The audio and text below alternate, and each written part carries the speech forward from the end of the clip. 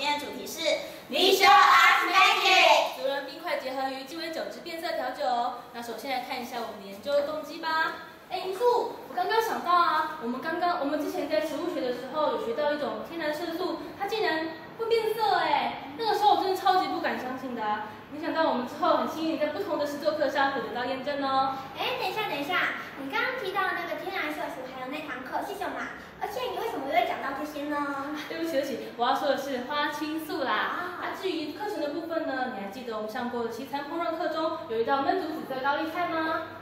而那个时候我们在紫色高丽菜中加入了白球素的时候，它竟然从紫色变成了粉红色哎！哎，听你这么一说，我也想起了在饮料课有一杯吉娃花茶，它也是加入了柠檬汁酱，也产生了同样的变色效果呢。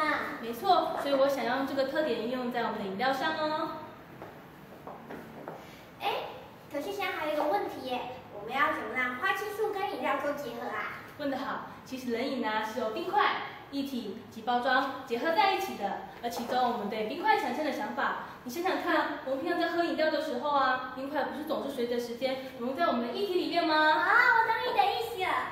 所以说啊，我们只要将花青素制作成冰块，融入含有酸性的饮料当中，说不定就会产生变色、渐层甚至惊艳的效果呢。没错，所以本专题想要探讨花青素变色的情形，因为它的特点，调配出不输给传统饮品且富含视觉艺术性的饮料哦。而且我们还发现这种特效啊，在我们的学界及业界都有带来相当的益处哦。是的，在业界，我们可以让顾客享用饮料同时，还可以欣赏得到惊艳的色彩变化，同时还可以让它应用于顾客体验当中。在学界，我们可以让它与相关课程做结合，加深学生对于课程的印象，花青素一到三会变色这项有益的硬件哦。没错，那接下来看一下我们的研究目的吧。一、了解花青素及变色原理。二、探讨花青。探讨紫罗兰冰块应用于鸡尾酒之色彩变化。三、调查精品的视觉感受及体验意愿。四、调查应用于学科学界相关课程之可行性。五、调查融入业界相关商品之可行性。六、推广于学界及业界。耶！让我们了解一下什么是花青素吧。所谓的花青素呢，是水溶性色素，它存在于。花果实、花瓣及紫色蔬菜中，而我们运用这个特点冲泡干燥紫罗兰花，自制成冰块，结合在我们的鸡尾酒里。花青素的成分是由花青素配质、葡萄糖及半乳糖所组成的。其中，花青素配置有一种非常重要的天然色素，就是血车菊素。血车菊素呢，它的颜色及结构是都会因为酸度的不同而有所改变。这也就是为什么我们现在看到的花青素会有变色的原因喽。嗯，那说了这么多，来看一下我们的成品图吧。我们主要是以墨西哥双动玛格丽特作为我们的研究代表，右边是传统墨西哥，而左边是我们的新品墨西哥。右边是传统双动玛格丽特，而左边是我们的新品双动玛格丽特。大家可以发现到，它们都呈现非常亮丽的粉红色。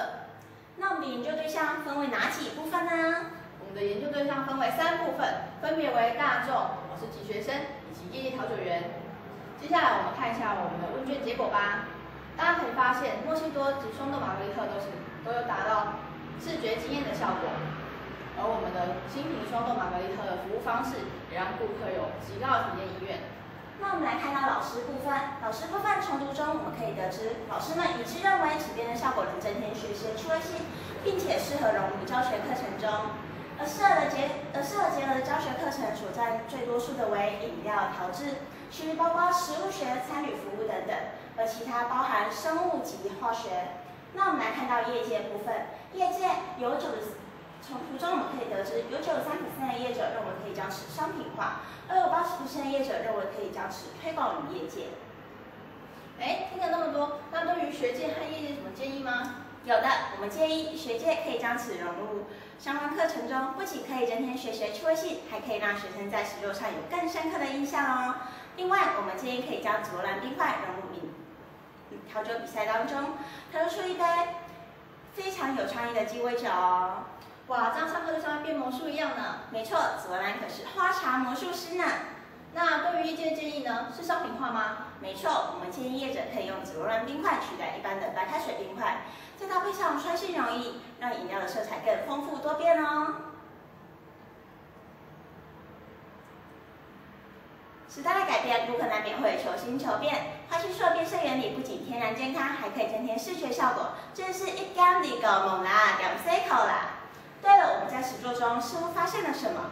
啊，好像是我们在在冲泡紫罗兰冰块的时候，有每次的颜色都不一样呢。没错，我们发现紫罗兰花茶每次冲泡颜色非常不稳定，于是我们利用白开水及纯水、自来水及纯水冲泡，然后并且并且请问老师，得到以下三大变异：第一，水的种类；第二，时间的长短；第三，烹制的残留。那希望大家可以借用本专题研究呢，让大家更了解我们的花青素的变色原理哦。下台一鞠躬，谢谢大家。